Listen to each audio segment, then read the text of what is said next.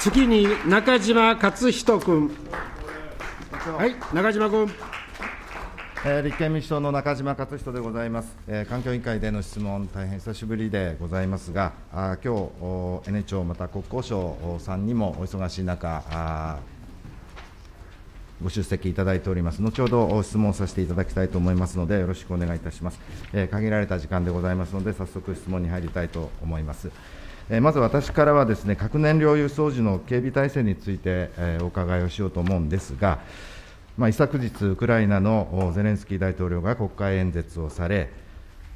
ま、ロシアの原子力発電所、ま、攻撃対象にしていることを目の当たりにして、ま、世界はこれが全世界に対するテロであると、ま、大きなテロであると強く非難をされました。ロシア軍がウクライナ侵攻に際し、ま、同国内の原子力発電所を攻撃したことにより、ま、世界中で原子力発電所への武力攻撃への懸念が高まっております。ま、原子力規制委員会の助田委員長によると、ま、武力攻撃に対してすぐに取れる対策は事実上ないということでもございます。また、岸田総理は、ま、今月14日の参議院予算委員会において、福井県警が原子力発電所に配置している警備部隊の全国展開について、まあ、検討する旨の答弁をされておりますので、えこれ、山口大臣も含めてですね、え関係省庁を置かれましては、まあ、早急に武力攻撃への対策検討を実施していただくよう、改めてお願いをしたいと思います。この原子力発電所と同時にですね、テロ行為や武力攻撃の対象となる恐れがあるのが、核燃料の輸送であります。我が国は、まあオーストラリアやカナダなどからまあウランを輸入しております。その輸送船や陸上輸送用の車両があテロ行為や武力攻撃に遭う可能性は十分にあります。まあ、核燃料輸送時の警備は、あ主に、まあ、公海上ではあ船籍国の警備会社、まあ、領海内は海上保安庁等が、まあ、陸上は警察や警備会社が担っておりますが、このような場所によって、別々の主体が警備を担っていると、警備の交代のタイミングを狙って、また複数の人間が関わることで、テロ行為や武力攻撃が行われる可能性があります。また、その際には責任の所在も曖昧になりなります。まず確認なんですが、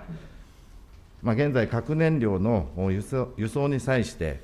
テロ行為や武力攻撃を想定した警備体制が敷かれているのかあ伺うとともに、また、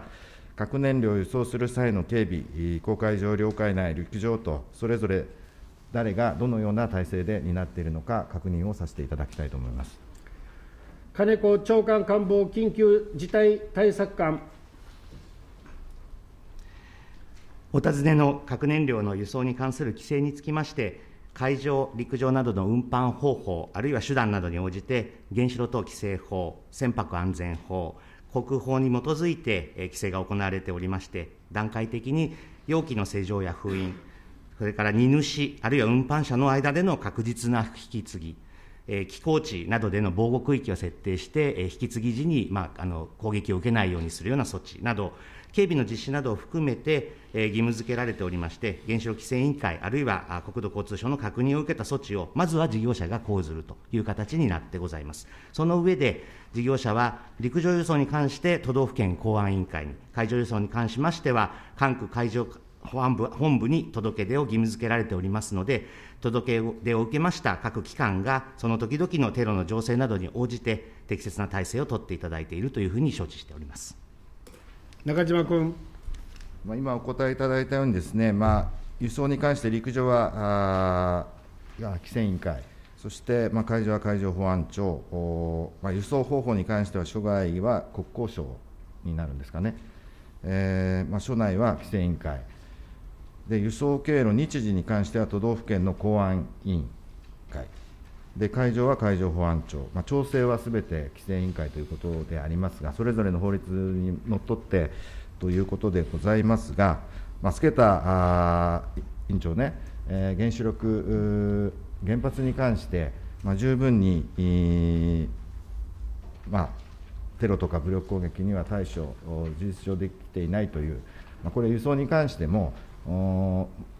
まあ、体制は取っているけれど、十分にはできていないというのが現状なんだと私は考えておりますが、まあ、今も話をされたように、えーまあ、我が国の輸送に関して、まあ、原子力発電所では、個人の信頼性確認制度が導入されて、えーいて、まあ、原子力施設における内部脅威対策の一つとして、個人に関する情報、テロリズム、暴力団に関する事項の自己申告、面接等が行われていると承知しています。まあ、そして同様の制度が、あ令和2年4月から、原子力発電所だけではなくて、核燃料の輸送を行う事業所や、あ輸送車、警備業者にも導入されていると承知をしていますが、この核燃料輸送の警備に当たるものの信頼性確認制度、この運用状況についても確認をさせてください。えーと5人目ね。はい。え国土交通省、坂巻大臣官房審議官。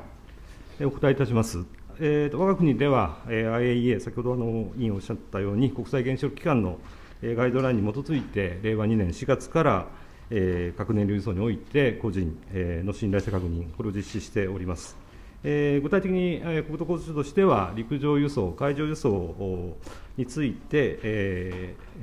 対象としております。えー陸上輸送については、原子力事業者など、また海上の輸送については、えー、荷送り人、あるいは船長が特定の警備を当たる者に対し、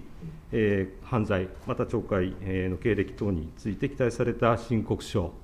えーその他まあ関係書類に基づく、まあ、書面の審査および面接、こういったものを通じて信頼性を確認しているところでございます。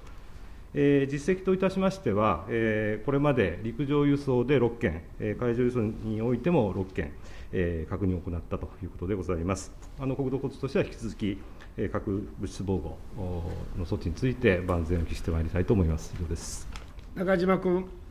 この信頼性確認制度ですけれど、おまあ、自己申告制度ですよね。で、まあ、一定の信頼性は確保できるとは思うものの、まあ、自己申告制であったり、事業所があ、まあ、確認するということで、えーテロリスト等を確実に排除できる保証まではなかなかいかないのかなと、まあ、私の印象ですけれど、思います。またあ核燃料輸送時に警備を行うものについては、まあ、海上保安官や、まあ、警察官のほかにですね、えー民間の警備会社の社員も含まれるということで、まあ、民間の警備会社の社員については、核燃料物質危険物運搬あ警備業務検定と資格を所持しているものも取り扱う、まあ、輸送に関わるということだというふうに思いますが、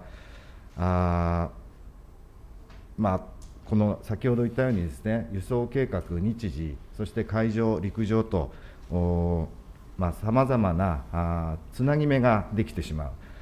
こういった縦割りになっている核燃料輸送時の警備体制についてね、縦割りを排することで、警備に従事する主体が一つになること、これ、責任の所在の明確化にもつながると思いますし、この縦割りを排してですね、一つの主体が警備することで、核物質に関する機敏な情報の触れるものの限定、まあ、つなぎ目ができたり、さまざまな体制、まあ、それは持ち屋は持ち屋というかもしれませんが、まあ、そのことによって、まあ、多くのに、えー人がこの機敏なあ情報に触れると、まあ、いうことで、やはり改めてですね、えー一つの主体が一元的に取り組む必要があるんじゃないかと。これ、原発もそうですが、この核輸送、核燃料輸送についても、やはりそういった一元的に取り組む必要があるんじゃないかと、改めて私、思います。これ、過去2回ですね、平成26年、28年に環境委員会で質問させていただいて、当時の石原大臣ですね、この核燃料の輸送も含めた核輸セキュリティの問題、これ、一元的に取り組んでいかなければならないと、答弁をされております。改めて、原子力防災担当大臣である山口大臣に、お尋ねいたしますが、核燃料輸送時の警備にあたって、この縦割りを排してですね、テロ行為だけでなく、武力攻撃に対抗できる力を持った主体が、あ一元的に担うべきであると、お私は考えますが、大臣の見解をお伺いしたいと思います。山口環境大臣。まあ、核燃料の輸送に関して、安全を確保するっていうところは、その通りだと思います。で、このずっと図柄を見てみますと、まあ、縦割りのようではあっても、一貫しているところもあると思います。で実際にこの輸送物が技術上の基準に適合することの確認は、原子力規制委員会、もうこれはもうその通りでしょう。この専門的な知識がなければできません。から輸送方法についてはもう陸海は国土交通省、これもその通りでしょう。それからこの輸送経路については、陸においては警察、海においては海上保安庁、要するに海上保安庁は海の警察ですから、これも一貫してます。からまあ空については、この警察あるいは海上保安庁の及ぶところではありませんから、まあ、そういう意味では、ここにおいては国土交通省ということになってるんだと思います。じゃあ、その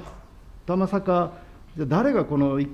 縦割りを排してっていう議論、まあたまあ、仮にそれをしたとして、誰がするんだ、これはもう専門的な知識が全部必要ですから、まあ、結局はその専門的なところを大事にしていくっていうことが起こってくるんだと思います。その意味ではこの 原子力失礼、原子炉等規制法等に基づく運搬の規制の範疇ではないため、こう対応する措置について特段の規定はないと、まあ、要するにこの武力攻撃については、ま、そういうことでしょう。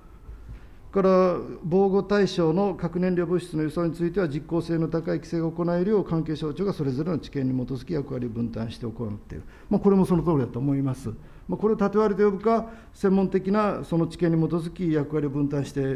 いるかということだと思いますけれども、まあ、この それがいわゆる縦割り的な対応にならないということは、役所のこのある意味で工夫ですから、だからそういう意味では、私は引き続き関係省庁が緊密に連携して対応できるように、まあ、私としても核セキュリティ全般に関する調整機能を担う原子力規制委員会の取り組みをサポートしていくと、まあ、そういう格好で安全を確保していきたいと思います。中島君。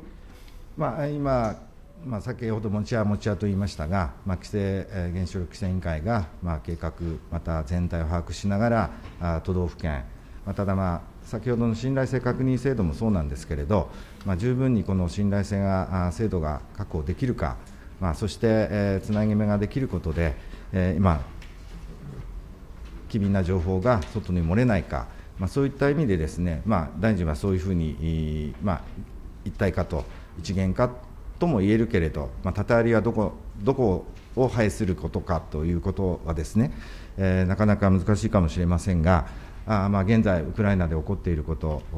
まあ、原子力発電所もそうですけれど、この核燃料輸送に関してもですね、えー十分なセキュリティの確保、まあ、できる限り、まあ、情報も漏洩しないように、そういった意味で、一元的な取り組み、まあ、何をもってということはあるかもしれませんが、ぜひ精度を高めていただきたいと、改めてお願いをしたいと思います。え次にですね、これ、私の地元、山梨県からあ静岡県に注ぐ日本三大急流の一つであります、え富士川の環境汚染問題と地球温暖化対策にも重要なあ再生可能エネルギーである水力発電と河川環境保全について質問をさせていただきたいと思います。富士川水系に水利権を持つアルミ加工大手の日系金属が出資している日系工業という会社がございますが、山梨県早川町のお富士川水系である天幡川においてですね、まあ、船石、まあ、いわゆる石を洗った後に発生する汚泥に高分子の凝集剤を混ぜて、産廃として処理せず不法投棄していました、まあ、8年にわたってであります。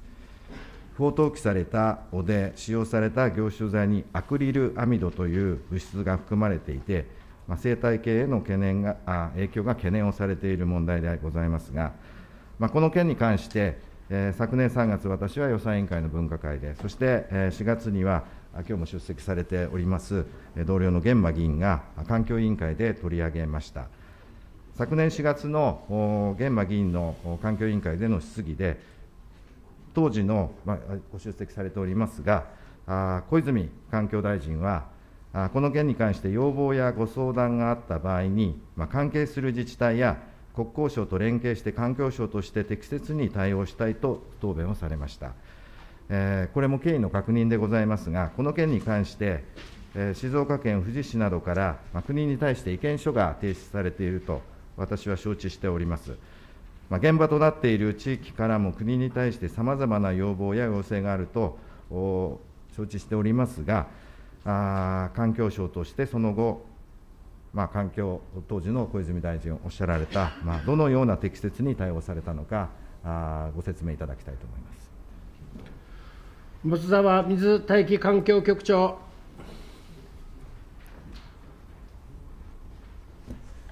先生、ご質問いただきましたあの富士川の件でございますけれども、えこれまで環境省では、静岡県、それから富士市などから、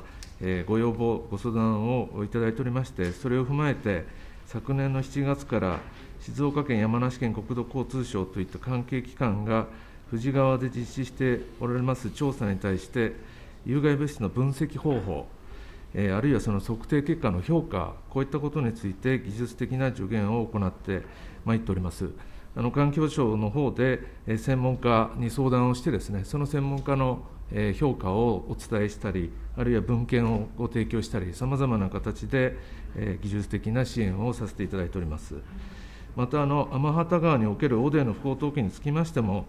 環境省としても山梨県の当該事業者の指導内容などについて確認をしているところでございます。今後も静岡県や山梨県などの取り組みを注視するとともに、関係自治体から相談を受けた際には、必要な助言など、必要な支援をさせていただきたいと思っております。中島君。ま、今ご説明、まあ、技術的な、ま、これ高度なあ専門性も必要になる部分だと思うんですが、ま、静岡新聞の報道とか、ま、東京海洋大学の調査によるとですね、富士川中下流域の広範囲に堆積している粘着性の汚泥の成分が、ま、山梨県で不法投棄していた業者の高分子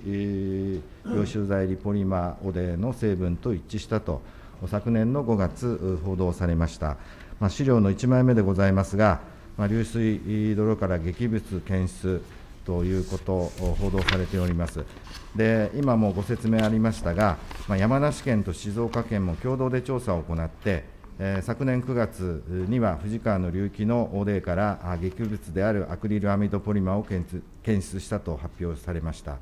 まあ、その後、国土交通省も含めて調査が行われておりますが、まあ、この記事にもあるように、静岡、山梨両県発表、性別影響ない数値と言われておりますが、専門家からはですね、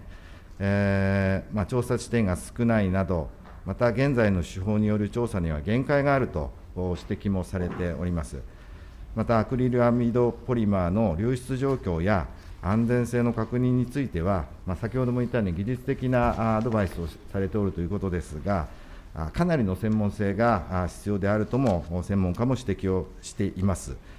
えー富士川はですね延長128キロメートルの一級河川で、えーあることから自治体任せでは限界があると、環境省及び国交省が、あー国としてですねしっかり責任を持って調査を行う必要があると考えますが、大臣のお考え、見解をお尋ねしたいと思います。山口大臣。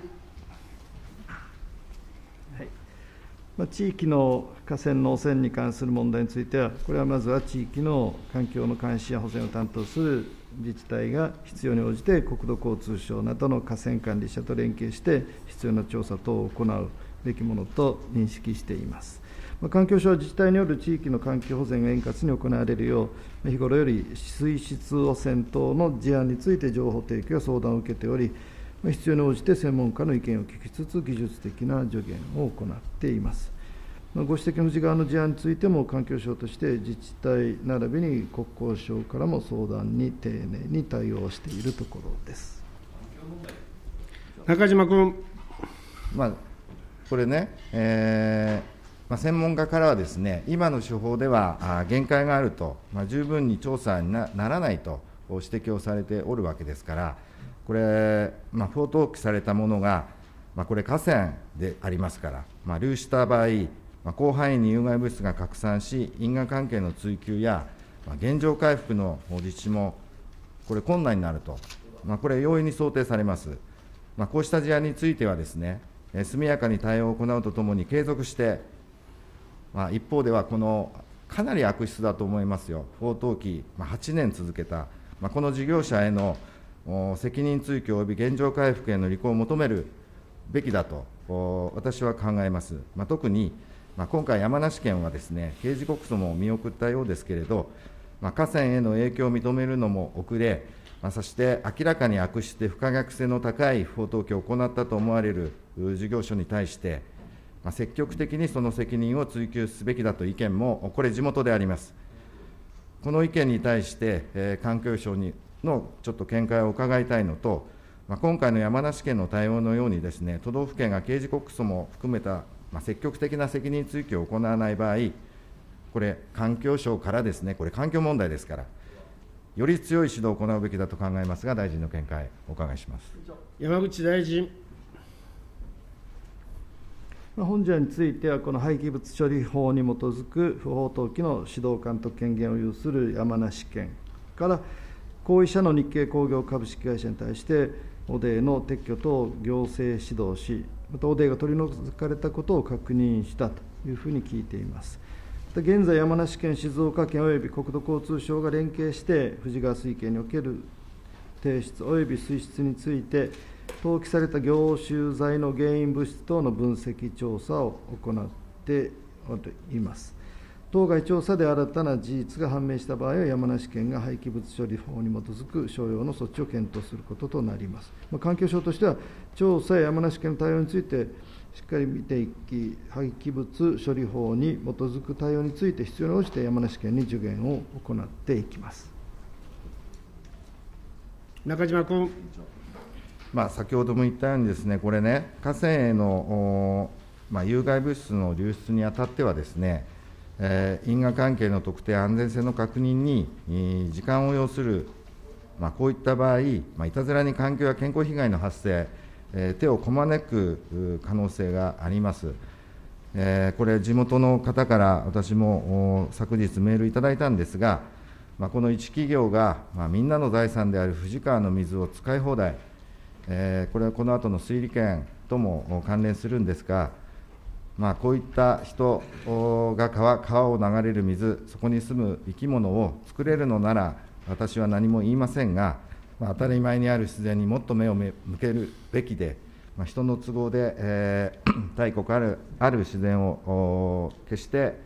えー、犯してはいけないと、まあ、こういうメールもいただいております。これ、河川等への有害物質の流出にあたってですね、えーまあ、これ、国があ都道府県任せにしないで、えー、国交省と連携してですね、この主張が起きている事態を除去するべき、えー、強くリーダーシップを取っていただくよう改めて求めますが、改めて大臣、ぜひお願いしたいと思います山口大臣。河川等に有害物質が流出した場合には、地元自治体が必要な調査等を行うことになりますけれども、その際、地元自治体に対して必要な技術的助言を行うことが、われわれとしては非常に重要であるという考えです。ご指摘の富士川の事案に対しても、これまで有害物質の毒性、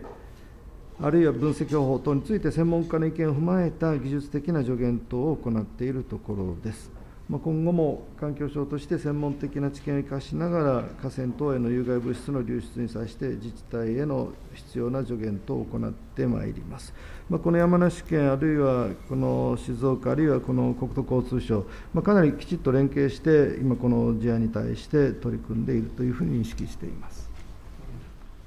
中島君。まあ、もうこの繰り返し申し上げませんが、あまあ、一度破壊されたあ自然、まあ、元に戻る、いや元、元に戻らないかもしれない、まあ、大臣も所信の中でおっしゃっておりましたが、あまあ、環境省の普遍の原点である、まあ、水俣病をはじめとする公害健康被害対策、人への被害が出てからではあ遅い、まあ、こういったことを専門家あ、たくさん、多くの専門家が指摘をしておりますので、えーまあ、この水俣病の教訓を踏まえてですね環境省がぜひですね先頭に立って、まあ、地元の皆さん、大変不安がってます、えー、ぜひですね先頭に立って、えーまあ、地方任せにしないように、えーまあ、技術的アドバイス等々しているとは言いますが、まあ、十分に、まあ、専門家の意見にも耳を傾けて対応をぜひお願いをしたいと思います。次に関連してですね、水利権と再生エネルギー、河川の維持流量の確保と、河川環境保全について、質問を続けたいと思いますが、今もお話ししました藤川水権において、この日系金属が、水利権と、まあ、6つの発電所を所有し、そのうち最古の波木発電所においてはですね、本来、アルミ精錬に使用するはずの発電電力を、国の固定買取制度、フィットを利用して売電をし、ガイドラインに定められた地元住民や、自治体に説明も十分にされない状況が引き続いていると私は承知しております。これ、明らかにですね、フィットのガイドライン違反だと考えます。これ、2月17日、ことしですけれど、国民民主党の田中議員が質問されていて、事業所にもこのガイドライン違反だという指摘に対してですね、事業所にも事情を聞き、また関係自治体の状況について確認すると答弁をされておりますが、確認された内容を確認あおしら教えてください資源エネルギー庁、茂木省エネルギー新エネルギー部長。お答えいたします。今、委員からご指摘ございました、あの波木発電所についてでございます。えー、2月17日の第8分科会の後にですね、私どもの方で改めて事業者に、事業者および地元とのコミュニケーションの状況についてですね、経産省から事業者および自治体に確認をいたしました。事業者からは、設備を立地する美濃部町および早川町へ事前説明を行っているということを改めて確認をしております。また、えー、今申し上げた2つの自治体に対しても確認を行ったところ、えー、自治体の方からは、企業による自治体の説明については承知をしているということ、それからもう一つは、現時点で地元において、地域住民の方からトラブル等の報告は受けていないと、把握はしていないというふうな回答を伺っております。私どもとしては、現時点においては、事業策定ガイドラインに反しているという事実は確認できていないというのが現状でございますが、仮に地域住民と適切なコミュニケーションが図られていないということが確認された場合には、地域と共生した事業が実施されるよう、事業者に対して適切に対応してまいります中島君。まあ、これ、私、地元の、まあ昨日もですね、今、お名前出ました早川町の町長ともお話をいたしました。えー、これ、とても地元とコンセンサスが取れている状況では、まあ、これ、1年前も私、指摘をさせていただいてます。まあ、確認した内容が本当に今の通りなのか、私、大変疑念があります。まあ、そもそも、まあ、これも一点確認したいんですが、この日系金属、まあ、推理権ですね、まあ、本来なら2年前に更新されるはずのものが、まあ、今も更新をされておりません。えー、これはなぜなのか、ちょっと確認させてください。国土交通省高橋水管理国土保全局次長。お答えいたします。波形発電所の水利使用許可の更新につきましては、河川法第36条に基づく山梨県知事への意見聴取など、必要な法定手続きに加えまして、現在、国、山梨県、流域自治体、申請者である日本軽金属との間で、波形発電所での取水を減らし、河川の水を増量できないかについて、合意形成を図っているところでございまして、その協議に時間を要している状況でございます。この協議の場は、国土交通大臣からの意見聴取に対する山梨県知事の回答におきまして、波形発電所の取水を減らし、可能な限り富士川の水を増やしてほしい旨、記載があったことから、国と山梨県が仲介役となり、流域自治体、申請者に呼びかけることで実現したものでございます。現在も地元関係者間で合意形成に向けた調整が継続して行われていることから、国といたしましても、この場での合意形成を尊重した上で、水利使用許可の更新を行いたいと考えており、結論を注視しているところでございます中島君。いや合意形成できてないんですよ。でこれね、2年前に更新されるのは、あのまあ、未だに合意形成できてないんです。それで1年前に山梨県知事が3町に対して意見書を求めて、まあ、そのうちの早川町と南部町から、まあ一言で言うと、水返せと、まあ、こういう回答してるわけです。これもう明らかにね、もう2年間、あまあ、おめこぼししている状況で、えー、このままね、えーまあ、地元の住民の感情、この次にちょっと現状をお話ししますが、時間ないので、今、そういう状況だということをね、ぜひね、しっかり、えー認識してください。まあ、その上でね、この日系金属、山梨県早川町、先ほども出てきましたが、自家発電施設として天幡ダム、所有しています。この天幡ダムは大差が進んでいてですね、あ実にダムの約9割が土砂で埋まってしまっています。まあ、そして、えー満水以上に土砂が溢れ返っていると、これ、資料の2枚目、写真、お見せいたしますが、まあ、左側が5年前、それちょっと方角が逆なんですけれど、お右側が現在です。現在の状況、もう土砂が溢れ返っているわけです。この天幡ダム周辺ではですね、大雨のたびに、町道が冠水し、民家が床上浸水したりですね、甚大な被害が発生しています。まあ、特に令和元年の19号、台風19号の時、えーこの時もですね、えーもう非常に、まあ、水害というか、豪雨災害ということで、えー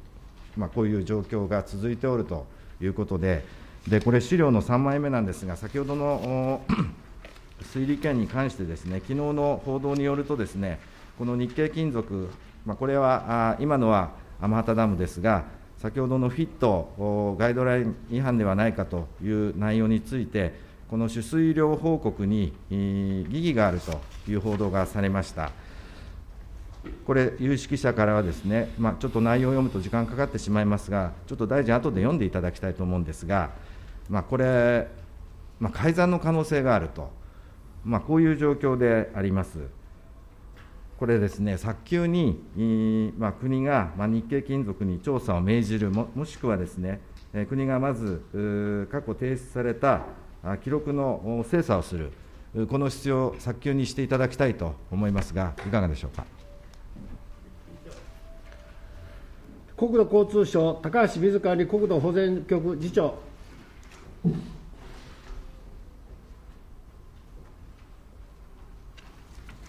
えーお答えいたします。あのおお水力発電施設にかかる、えー再点検をあの平成19年当時に行っております。これはあの当時あの、最大取水量以上の取水があった場合におきまして、えー取水量があたかも最大えー取水量であるようにあの観測、記録されるような、えー機器をお設置していた、そういう事案が他であったということで、えー全国的にえーこれについての再点検を行ったところでございます。えーで当時のあの報告では、えー日本系金属からはそうした事案については該当がないというようなえー報告を受けているところでございます。中島君。いや、あのね、まあ、調査してください。あの、もう資料出せま、まあ、今日の朝の新聞では、報道ではですね、これ、1987年から91年に対しても不自然記載と、あります。これ、どんだけ不記載があるのか、これさっきのフィットのガイドライン不足、まあ、違反も含めてね、これ、推理権、これ、本当にこの日系金属、これ、更新してしまう可能性、否定できないわけですから、これね、まあ、全国各地って言いますが、あこの件に関して、えー国として、まあ、早急に調査、まあ、してください、やっていただけますね。国土交通省高橋次長。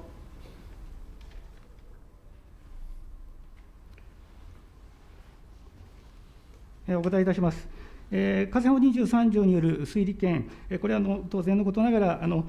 流水の使用秩序の維持をしっかり図って、えー運用されるということが、えー大変重要だというふうに考えております。えーまずはあの一義的には、あの取水者であるあの日本系金属の方で適正に、えー取水がされるべきものというふうに考えておりますけれども、あの議員のご指摘も踏まえまして、えー当時の、えー点検の状況のなどについても確認をいたしながら、えーどうした対応ができるか検討してまいりたいというふうに考えております。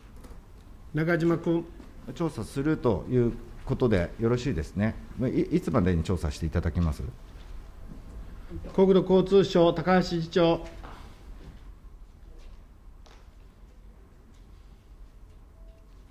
えーお答えいたします。あのお先ほどもご答弁申し上げましたけれども、えー平成19年当時の再点検の状況、そうしたこともお改めて確認をした上で、えー議員のご指摘も踏まえて、えーまあ、あの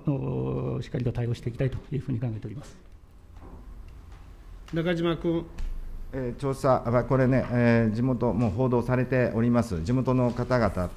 まあ、大変憤りを感じておりますので、えーぜひ調査結果、あ理事会にご報告をしていただけますように、えー委員長にはあお計らいいただきたいと思います。